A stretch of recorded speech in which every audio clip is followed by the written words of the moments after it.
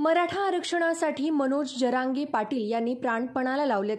जरांगे पाटील गेल्या नऊ दिवसांपासून उपोषणाला बसलेत. आज नवव्या दिवशी त्यांची प्रकृती खालावली आहे.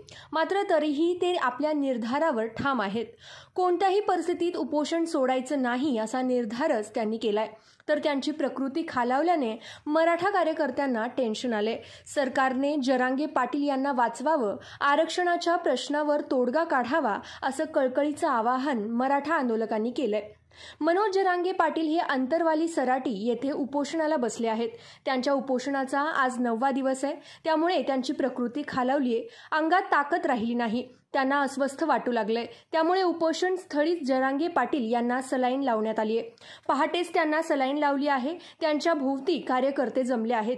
तर जरांगे पाटील यांची प्रकृती खालावल्याची वार्ता पसरल्याने जालना औरंगाबादसह आसपासच्या जिल्ह्यातून मराठा कार्यकर्ते अंतरवाली सराटीकडे यायला निघालेत.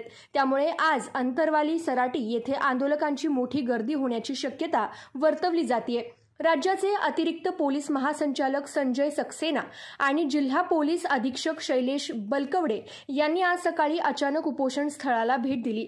यावेळी त्यांनी मनोज जरांगे पाटील यांच्या तब्येतीची विचारपूस केली तसेच त्यांचं म्हणणं ऐकून घेतलं. आंदोलकांनाही शांतता राखण्याचं आवाहन केलं. दरम्यान अतिरिक्त पोलीस महासंचालक आणि जिल्हा पोलीस अधीक्षक अचानक आल्याने सर्वांच्याच भुवया उंचावल्या होत्या.